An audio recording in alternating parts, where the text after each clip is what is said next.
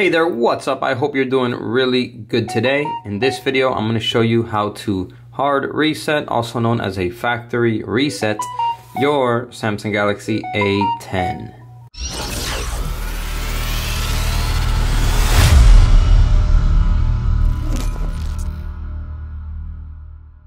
So the reason you may want to do a factory reset is maybe your phone has a virus, it's not working properly, maybe you have a password on it and you can't get into your phone. Uh, so by doing a factory reset, you'll be able to reset the phone completely to factory conditions so that you can start uh, using it again. So I'm going to show you two methods to do the hard reset. I'm going to show you first through the settings and then also with the buttons so that in case you can't get into the phone, uh, you'll still be able to do it. So first off, let's go through the settings. Once in settings, we're going to scroll down to general management, which should be right here towards the middle. I'll go ahead and select it. Here you will see the option reset. This is the one we're going to select. So hit reset. And then here you're going to see factory data reset. So we're going to select this option. This is going to uh, once again erase everything on your phone back to its factory condition so make sure that you know if you can back up anything that you want to keep go ahead and back it up now before you continue because this will erase everything once you're ready, scroll down and go ahead and hit reset. Then it's gonna let you confirm one more time. Uh, you'll have to select delete all. Once you do that, the phone will be reset back to factory condition.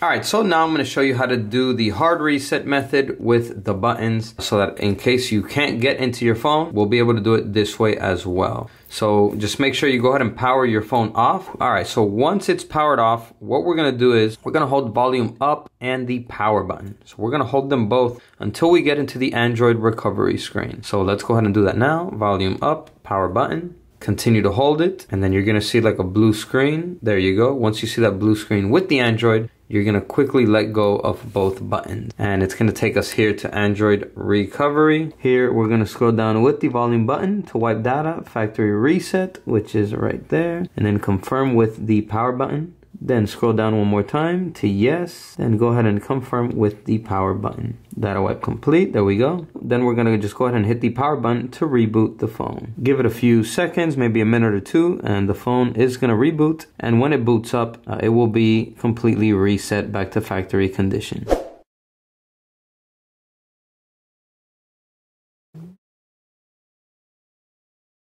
And there we go. The phone has been reset and now we're at the initial setup of the phone uh, where you will select things like your language. Uh, you'll have to agree with all the terms and conditions here and you'll just have to completely set your phone up again. So there you go. That's how you do a factory hard reset on your Samsung Galaxy A10. So go ahead and give this video a like if it helped you out. And that's it for this video. I'll see you in the next one. And as always, peace. Ciao.